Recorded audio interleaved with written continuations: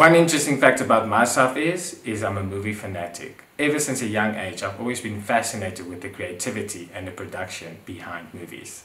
I was that one kid that watches a movie over and over and over again. Up to today, I still have my very own DVD collection.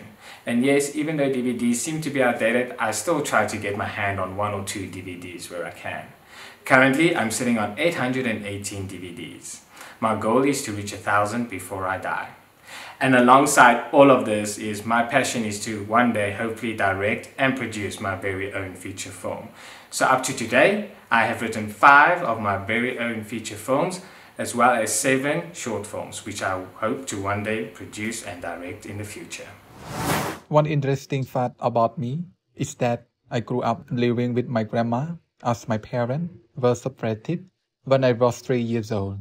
Through the experience of living without caring parents, I have encountered countless obstacles, yet I always stay strong, support myself, and come to the city, follow my dream in order to accomplish my goal in the future. Since I was a kid, I've always dreamed of being an Olympic athlete. I started swimming when I was 10 years old, and almost 15 years later, after a lot of ups and downs, I achieved that goal in the 2016 Olympic Games.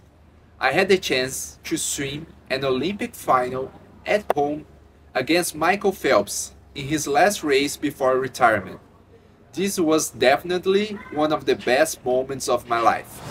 When I have something to do, when I take a decision to do something, I give this decision passion.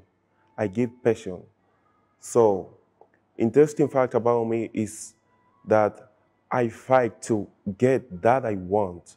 I fight to I fight to get that I want. I do the um, impossible to get that I want because I think that when you have an, an objective, you have to get it.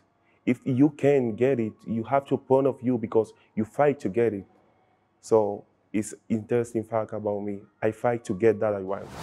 Um, the fact about myself that may be interesting is that I love Lion the King. It's my favorite movie. So a fun fact about me is that I moved 43 times in my whole life.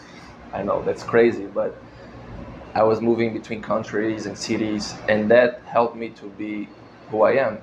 Of course, there's a downside, but there's a lot of good things that I learned from it. I know how to, to, to adapt. I know how to be flexible, and I get I didn't know a lot of places because of this. And yeah, I, I'm grateful for it. And another fun thing is that I do fast 20 to 23 hours and I eat one time a day. One interesting thing about myself is that I'm, I'm, I'm not an English native speaker, but I've spent one year um, training for the, the world biggest um, international arbitration moot and uh, how to play it before um, many people in English and I'm pretty happy of what I did. I know my English is not perfect, but one interesting fact about me is I never had an English class before. So I learned listening music, watching movies, and talking with people who really talk in English.